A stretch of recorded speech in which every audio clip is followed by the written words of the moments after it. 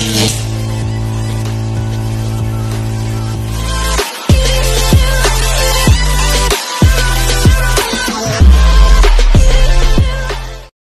magandang araw sa inyo mga idol. Update ko lang po itong ah, L36 Turbo na speaker box. Yan. Yung design niya. Update ko lang sa inyo dahil ah, pasensya na po. ah, wala pa akong mga video doon sa ah, bago kong box ng video okay. Ah, ito muna, i-update ko muna sa inyo yung speaker box ko na bagong gawa din na L36 Turbo. Yan. L36 yung laman niya sa loob. Yung design niya sa harapan is turbo. Yan guys, meron tayong dalawa dito. Yan. Uh, D15 lang siya mga idol. Yan. D15 na L36.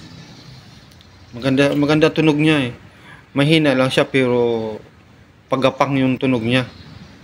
Kumakalampag ng yero yung L36 Yan.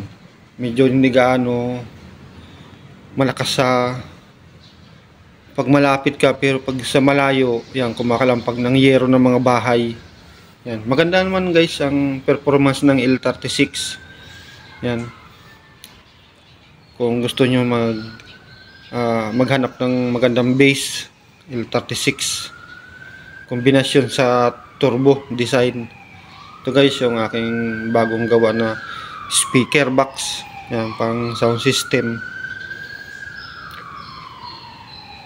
Ah, kung kayo gumawa guys, oh, yan, pwede nyo rin i-search yung mga sukat niya. Nasa, naka-upload naman yan sa YouTube. Ah, hanggang dito na lang guys. Update ko lang dito sa bago ko speaker. subscribe, like and share.